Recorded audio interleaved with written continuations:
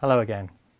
Today's question is, are there any downsides to doing a permaculture design course? Um, of course, I would talk about all the benefits, which I would say there are many. Um, I don't know about downsides so much, maybe things that you don't expect to happen. Um, and so I probably should warn you about those. The most obvious place to start is with money. Now, obviously, permaculture courses probably going to cost you money to go on a course. Uh, there's particularly if you do a residential course because that will involve accommodation and food and so on and those things need paying for. But it's more what goes on after the course. It's not the course itself, it's what happens afterwards, the money you might spend as a result of doing the course. And perhaps one of the most obvious things, um, for me at least, was that I started buying a lot more books.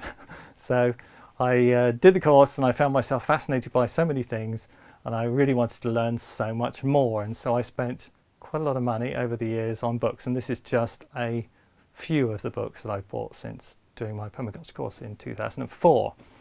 Um, of course you might also want to do some more courses um, and there's all kinds of other things that you might spend money on as a result of doing the course and being inspired to do other things. Which then brings us on to the next thing, which is time. Obviously the permaculture course itself is quite long. It's either a two week residential or six weekends. And so that's quite a lot of time to take out of your life. But on top of that, like we were saying with the money, you've got, you're going to need more time to read the books that you buy, to watch the videos you want to do, do all the learning, the extra learning that you get inspired to do as a result of doing the course.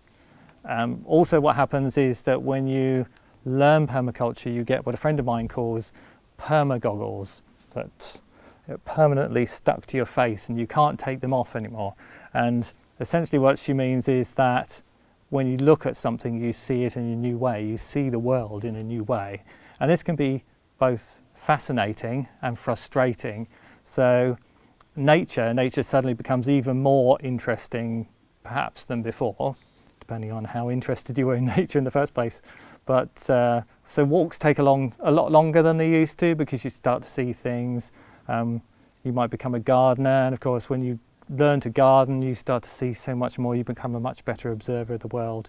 But the other side of this is that you might experience a lot more dismay. Now, as bad as it gets here is probably the shrub planted on top of the sewage pipe, so the roots might get in there and cause some damage at some point, and the lack of a windbreak where the wind comes from.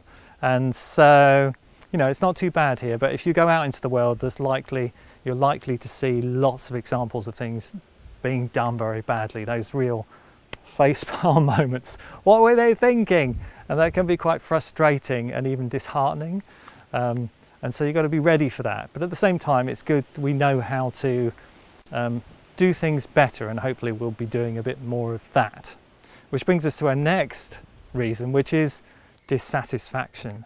Now, having done a permaculture course, felt a little bit like this water tank, which was all there was here when we arrived, compared to what we have today, in the sense that this felt like my what I'd learnt before permaculture, even though I'd learnt a lot, how much of it was very useful to me, so I felt quite dissatisfied about that.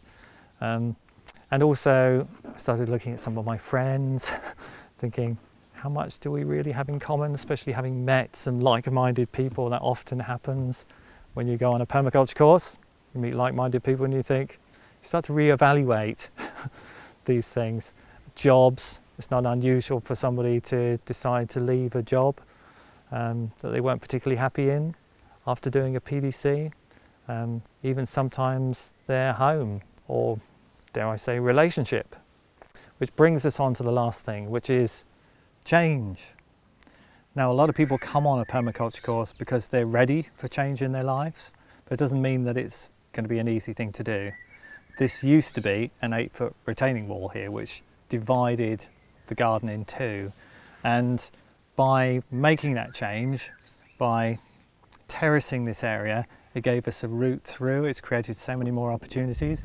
It was a lot of upheaval, but in the end, it was worth it. So if you're not really ready for change, then maybe you shouldn't be doing a permaculture course. But if you are, then perhaps it's the very best thing you could do.